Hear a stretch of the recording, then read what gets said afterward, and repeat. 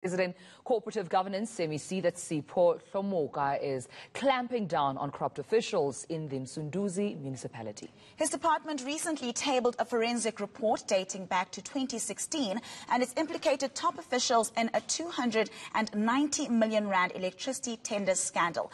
ENCA's Lethiwe Mdluli caught up with the MEC during his visit to Msunduzi.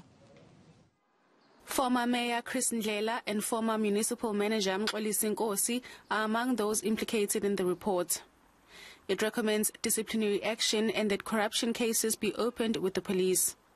Hlomuka says now that the report is before council, the recommendations can be implemented. Some of the officials have already been suspended and the, the similar processes they have already started.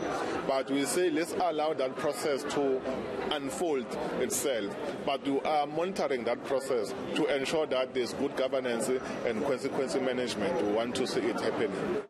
Msunduzi Mayor Mzimkhulu Thebolla says steps are being taken to recover the money lost.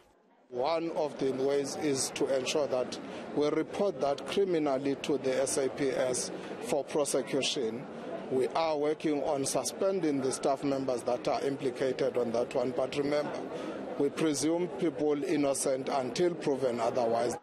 No time frame has been set for punishing those found guilty, but Thebolla says with the report now tabled in council, they have only 21 days to decide whether to follow its recommendations.